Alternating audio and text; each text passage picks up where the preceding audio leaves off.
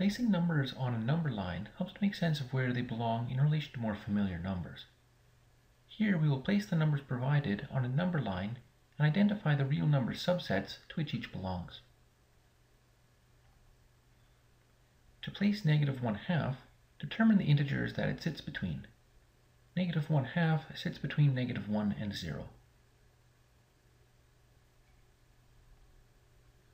1.75 sits between 1 and 2 and is located closer to 2. The square root of 25 is 5. The negative cube root of 64 is negative 4.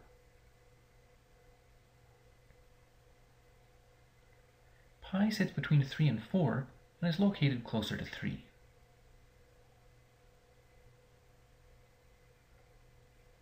Next, identify the real number subsets to which each number belongs. All of these numbers are real numbers, but each also belongs to at least one other subset. Negative 1 half and 1.75 are both rational and real, since both numbers can be represented as fractions or decimals that terminate.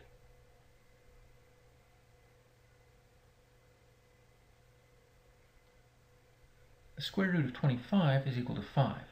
The number 5 is a natural number, a whole number, an integer, a rational number, and a real number.